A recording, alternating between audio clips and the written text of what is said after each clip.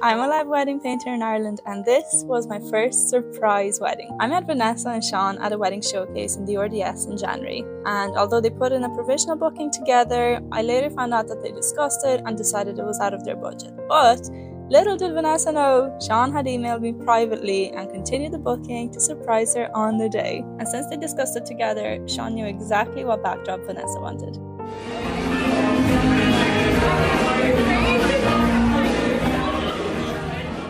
I was actually quite nervous myself leading up to the day because of the surprise element, but Vanessa had the most wholesome reaction in the world, and their guests were absolutely amazing too.